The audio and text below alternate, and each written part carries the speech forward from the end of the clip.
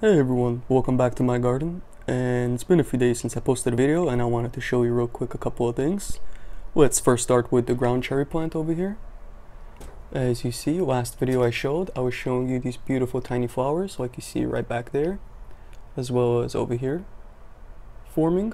And now that the flowers are beginning to wilt away, they're starting to turn into the lanterns, which is exactly where the ground cherry is going to form. Let's actually coming nice and close you could see right in the middle there, that's the lantern. And to the right of it, you could see a flower that just blossomed not too long ago. So that flower is going to turn into this lantern here. And inside of the lantern is where it's going to be the edible fruit.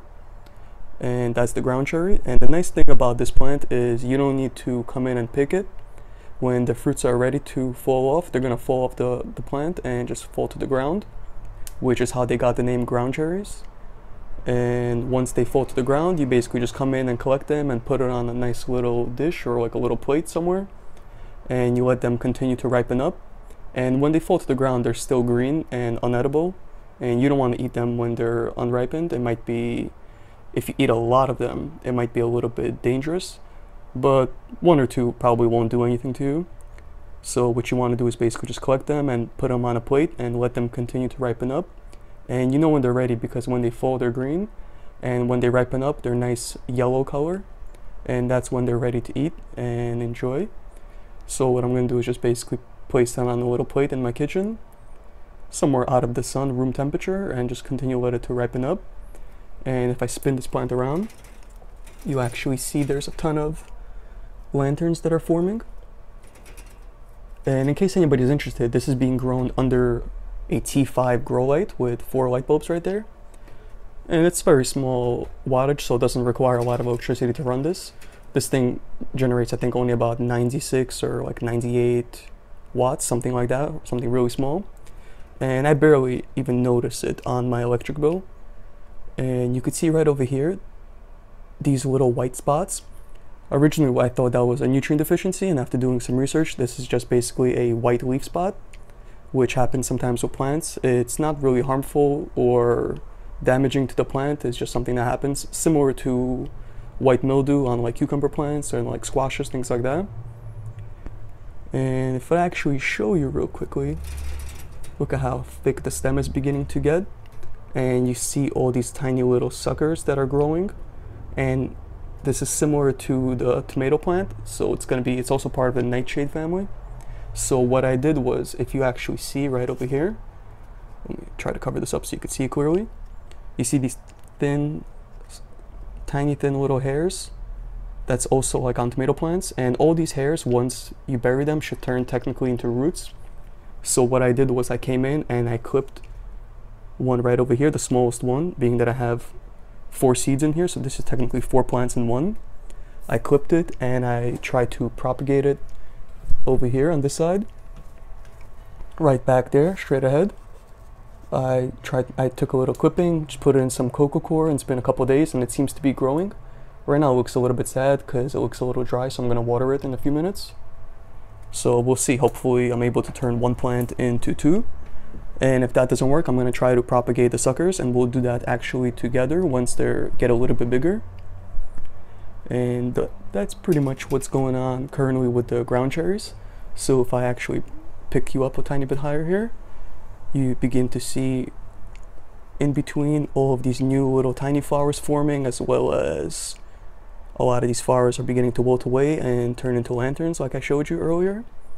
And in case anybody didn't see what a flower looks like let me pick this plant up and show you. Look at that. That's the flower right there Nice beautiful white petals with a little purple center. Here's another one here. And as you see, there's a ton of flowers basically all over the place.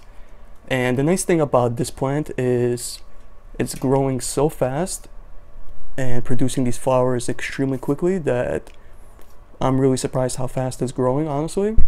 And I can't wait for one of these ground cherries to fall to the ground so I could really try it and see what it tastes like. It's supposed to be a tropical flavor similar to like a pineapple mixed with maybe like another like some type of berry. So I'm really really excited to give this a try. And like I mentioned, when they fall to the ground, I'm going to collect them and let them continue to ripen. And I'll show you what it looks like once they fall as well as when they ripen. So we'll be doing a few more episodes with this ground cherry plant and I'll keep showing you how big this thing gets because right now it's nice and small and compact. It's only basically about, I would say maybe four to three inches away from the grow lights here and it seems to be loving the heat and for now the plant is doing quite well. Let's actually take this a, a little bit out. I want to see what the root system looks like. It's been some time since I looked at it. So let's try to quickly get that out. And look at this beautiful, beautiful compact root system. Nice, white, healthy, beautiful looking roots. Look at that. And if you look inside, you see the nutrients are beginning to drop down. What I'm doing, what I'm gonna do is basically every single Sunday, I'm gonna come in and test the root. Uh, I mean, sorry, I test the nutrients. I'm gonna see what the pH is, what the ppm is, and if it drops below, if it drops a little too low, I'm actually gonna be changing out and swapping out the nutrients in here. So I'll be doing weekly tests and we may even do that together this Sunday. Let's see how it goes.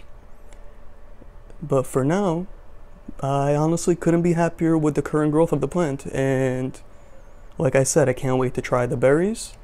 And we'll be coming back in a few days or maybe maybe about a week or two once the ground cherries get a little bit bigger. And you could really see what the lantern looks like. It's supposed to be a beautiful, beautiful looking lantern. Similar to what a tomatillo looks like. And I can't wait to show you guys. So if you liked the episode or have any questions, hit the thumbs up and post the questions down below. And as always, I'll do my best to answer everything. And yeah, thanks for watching.